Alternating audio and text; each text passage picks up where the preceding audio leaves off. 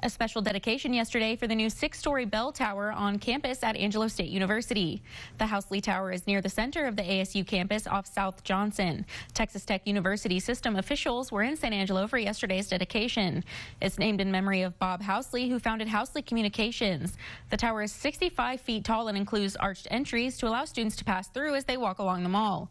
The tower bell system is programmed with almost 8,000 songs and will sound chimes three times a day.